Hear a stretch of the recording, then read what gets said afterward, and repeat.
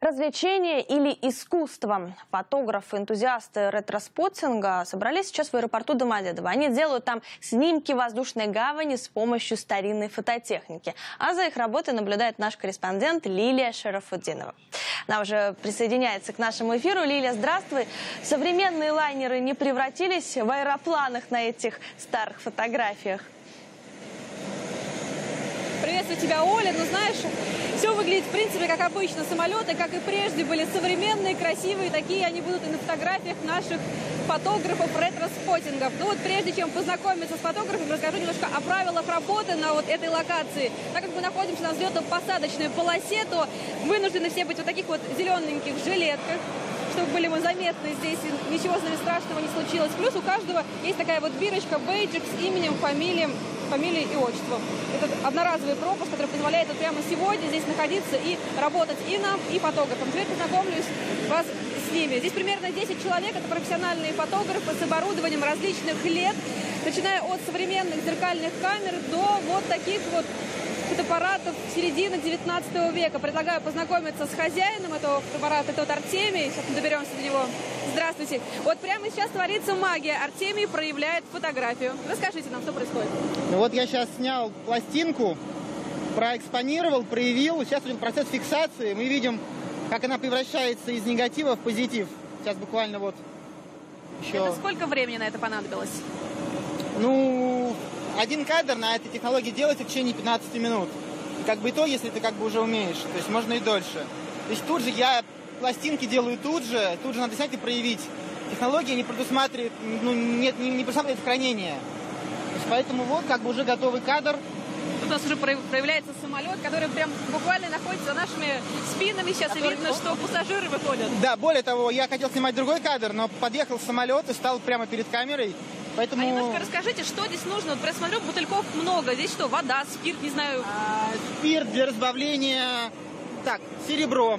Здесь оно служит для как фоточувствительное серебро. Значит, стекла. Вот коробка со стеклами. Вон одно стекло стоит, его видно. Да, да, да, да, да, да. Давайте я вам продемонстрирую. Это просто у меня не, не, не очень удачная. Вот эта вот субстанция, то она... фотография появляется в самом обычном стекле. Да, то есть я стекло поливаю специальным раствором, колодия, э, который Э, потом погружаю в раствор серебра, нитрата серебра. Получается, получается обычная как бы фотопластина, но мокрая. Ее нужно проэкспонировать и... Во все а... тяжкие фотографии А? Во все тяжкие фотографии. Ну да, ее надо проэкспонировать и проявить, пока она не засохла. Хорошо. То есть... Уже видно, прям вот сейчас попрошу показать оператора, фотография вот прям практически, мне кажется, уже готовая. Да, видим, видим, видим самолет. Но на самом деле это негатив. Сейчас я вам покажу небольшой фокус.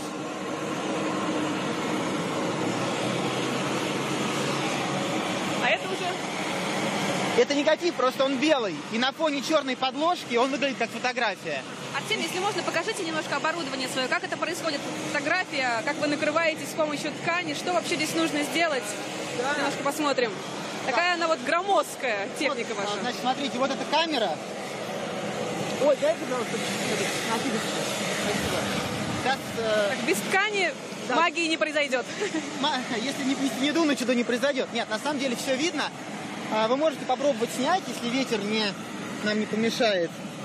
Так. Вид, видно, как будто тот самый самолет, который я только что снимал. Да, только он цветной здесь. Да, он здесь цветной и вверх ногами. То есть, что же вы делаете, чтобы эта фотография получилась? То есть, на самом деле это пустая коробка, это камера обскура, там ничего нет внутри. Вот, чтобы фотография получилась, я заменяю вот это матовое стекло на... Да, на кассету э, с фотопластиной.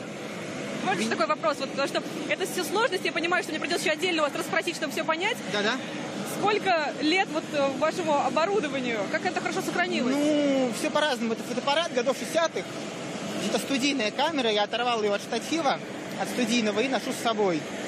Она мне попалась в плохом состоянии. Сразу просто. поделюсь секретом. Артемий пришел просто с множеством чемоданов сюда. Единственное, остальные немножко вот поменьше набор ну, сумок. Больше всего, но я как бы взял не все. Я взял по минимуму с собой. Ладно, удачи вам. Посмотрим еще, кто здесь у нас. Спасибо. Каким оборудованием. Мы немножко пройдем вдоль остальных фотографов. Видно, что у всех очень много сумок, чемоданов с оборудованием.